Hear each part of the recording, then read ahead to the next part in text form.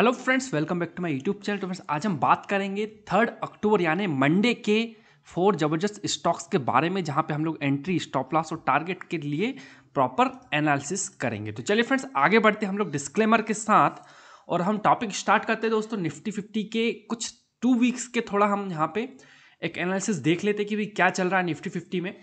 तो यहाँ पर फ्रेंड्स आप देख सकते कि जो वीक था, जो दो वीक्स था सेकेंड लास्ट वीक था, उसमें निफ्टी तेज़ी से डाउनफॉल हुआ।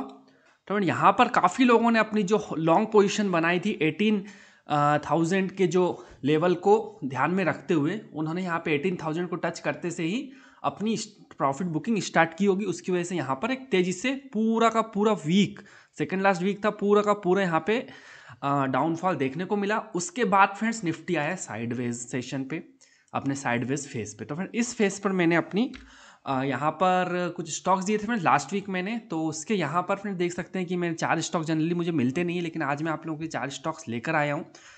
तो उसके बाद क्या हुआ दोस्तों निफ्टी में यहाँ पे इसने थोड़ा सपोर्ट लिया, लग रहा था कि भाई ऊपर जाएगा, लेकिन वो नीचे यहाँ पे स्लिप मार, करता हुआ वापस गया। तो फ्रेंड्स, अभी देख के लग रहा है कल के मार्केट को कि भाई निफ्टी क्या तेज़ी से बुलिश होने वाला है। तो दोस्तों, बहुत कम चांसेस है, ऐसा नहीं है कि कल के मार्केट एकदम 45 एंगल के साथ ऊपर की तरफ़ था तो भाई पूरा वीक नेक्स्ट वीक भी ऐसा ही रहे क्योंकि यहाँ पर फ्रेंड्स को ज़बरदस्त हैडल्स है यहाँ पर रेजिस्टेंस है तो हो सकता है कि यहाँ से फर्दर मार्केट डाउन हो सक होने की संभावना दिख रही है इस पर टेक्निकल एनालिसिस तो चलिए फ्रेंड्स फटाफट बात करते हैं कल के जो चार स्टॉक्स में लेकर आया था उसके बारे में। आ, तो वही फटाफट देख लेते हैं। पहला हम लोग यहाँ पर देखेंगे भाई एशियन पेंट से बात करेंगे दोस्तों। यहाँ पर हम लोगों को एक प्यारा सा सिमेट्रिकल ट्रेंगल देखने को मिल रहा है। फ्रेंड्स लेवल की चिंता ना करें। यहाँ पर आप लोग थोड़ा टेक्निकल मिलेगा। लेवल में आप लोगों को कंट्रास्ट चेंज कर दूँगा तो आप लोगों को विजिबल हो जाएँगे।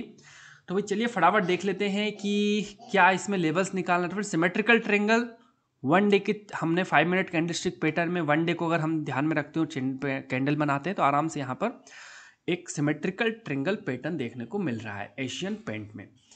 तो अब यहाँ पर लेवल निकाल लेंगे दोस्तों। लेवल निकालने के लिए यहाँ पर मैंने ग्रीन लाइन। ग्रीन लाइन का फ्रेंड्स लाइन का थोड़ा कलर कोडिंग बताता हूँ। ब्लू लाइन यानी ट्रेंड लाइन होती है। फ़िलहाल जो हम लोग यहाँ पे यूज़ करते हैं ग्रीन लाइन मतलब buy side and red line मतलब शॉर्ट सेल साइड या फिर स्टॉप लॉस ठीक है? तो भाई कलर देख के कन्फ्यूज़ नहीं होना है। तो यहाँ पर फ्रेंड्स में फ़िलहाल हम बाई साइड की बात कर रहे हैं दोस्तों। तो सिमेट्रिकल ट्रेंगल के अगर इस मूवमेंट को ब्रेकआउट देता है यहाँ पर तो यहाँ पे हमारा बाई कॉल एक्टिवेट होता है। बाई कॉल के लेवल ये रहा आप लोगों के सामने मैं ग्रीन कर रहा हूँ क्योंकि ग्रीन कलर बुलिश को दर्शाता है। ठीक है, अब फ्रेंड शॉर्ट सेल साइड भी इसमें अच्छा खासा एक लेवल देखने को मिल रहा है। शॉर्ट सेल साइड में यहाँ पर रेड कर देता हूँ। इसको भी आप लोगों को शॉर्ट सेल साइड के लेवल दिखा देता हूँ दोस्तों। तो ये रहा फ्रेंड एशियन पेंट्स के दोनों तरफ़, दोनों साइड के लेवल आप लोगों के सामने। तो इसमें हम लोगों को फ्रेंड्स कंडीशन क्या है? Market should be open inside the symmetrical triangle तभी हमको इसमें ट्रेड लेना है। और पहले ब्लू लाइन का ब्रेकआउट होने देना है, पहला कंफर्मेशन होने देना है, उसके बाद ग्रीन लाइन के ब्रेकआउट पे हमको एंट्री लेना है। यहाँ पे नहीं लेना है दोस्तों। पहला कंफर्मेशन हमेशा सिर्फ़ कंफर्मेशन ही देगा, लेकिन सेकंड जब फाइनल कंफर्मेशन होगा एंट्री लेवल हमारा यहाँ पे रहना है। तो भाई नेक्स्ट स्टॉप की बात करते हैं दोस्तों टाटा स्टील इसमें क्या हुआ है भाई? इसमें आप लोगों को वही ब्लू ग्रीन रेड लाइन जैसा कि मैंने आप लोगों को बताया फ्रेंड दिख रही है। ठीक है तो रेड का मतलब यहाँ पे स्टॉप लॉस से है। तो इसको मैं समझाने के लिए पहले मैं इसको 15 मिनट के कैंडलस्टिक पैटर्न में कर देता हूँ तो आप लोगों को ईजिली समझ में आ जाएगा। ब्लू लाइन तो देख सकते हैं कि पिछले वीक अगर हम लोग हाई और इसके कल के हाई को मिलाते हैं तो यहाँ पे एक ट्रेंड लाइन देखने को मिल रही है प्रॉपर उसके बाद 19 सितंबर के लो पे हमने स्टॉप लॉस लगाया है। और सत्ताईस सितंबर के हाई पे हमने यहाँ पे बाई एक्टिवेट लगाया। अब भाई ये ब्लू लाइन और इसका मतलब क्या है दोस्तों? तो यहाँ पर ये है कि भाई कॉल खुलना चाहिए ब्लू लाइन के बीच में कल मार्केट और ब्लू लाइन का ब्रेकआउट देगा, देने दो, कोई जल्दी नहीं है, धक्का मुक्की बिल्कुल नहीं है। उसके बाद यहाँ पे जब ग्रीन लाइन का ब्रेकआउट देगा, तब हमारा एंट्री एक्टिवेट होगा। अब फ्रेंड्स एग्री होता हूँ इस पॉइंट से कि फ्रेंड्स इतना जो हमारा परसेंट है, एक परसेंट खराब हो जाएगा। कोई दिक्कत नहीं है, लेकिन हमको प्रॉपर एक लेवल का वेट करना होता है दोस्तों। तो लेवल का वेट होने एक्टिवेट होने के बाद ही हम लोगों को यहाँ पे एंट्री लेना है। तो फिर से एक परसेंट और हम लोगों को यहाँ पे आराम से देखने को मिल रहा है।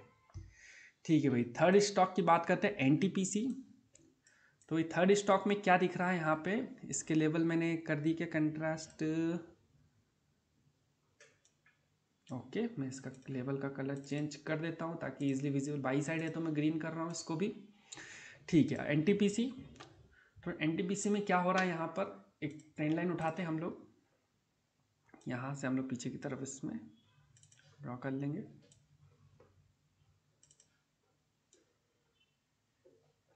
तो बट कितने दिन की यहाँ पे हमको एनालिसिस दिख रही है? एक, दो, तीन, चार। यानी कि पूरा लास्ट वीक का ही हमने सारा चार्ट कैंडल पैटर्न लिया हुआ है। अब फ्रेंड्स क्या होता है? इसमें देखते हैं, हम कोशिश करते हैं दोस्तों सिमेट्रिकल ट्रेंगल बन रहा है कि नहीं? सिमेट्रिकल ट्रेंगल बनेगा तो हम शॉर्ट सेल साइड भी जाएँगे। तो जैसा कि मैं बोलता हूँ कि हमेशा जब भी मैं ट्रेन लाइन ड्रॉ करता हूँ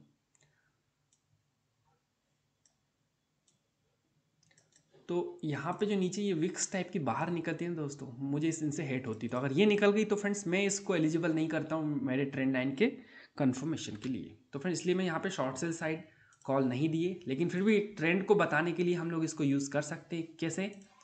यहाँ पर फ्रेंड्स गया अप ट्रेंड में, फिर अप ट्रेंड में, फिर अप ट्रेंड में। तो इसको देख के लग रहा है कि भाई अप ट्रेंड में चल रहा है। इसलिए मैंने ये सोच कर यहाँ पर बाई कॉल निकाल के दिया है। लॉजिक है उसके पीछे यही वाली। तो 27 तारीख का हाई 26 तारीख का हाई 29 तारीख का हाई 30 तारीख का हाई सारे हाई को ब्रेकआउट दे सकता है ये। तो हमारा कॉल एक्टिवेट हो जाएगा। तो भाई इसको मैं ब्लू तो है, लेकिन मैं इसको ग्रीन ही करने वाला हूँ, क्योंकि इसी मोमेंट पे हमारा कॉल भी एक्टिवेट होगा। ट्रेंड लाइन भी है और ये कॉल एक्टिवेट की लाइन भी है। तो भाई ये रहे उसके लेवल बाई साइड फिर से कर रहा हूँ दोस्तों मैं।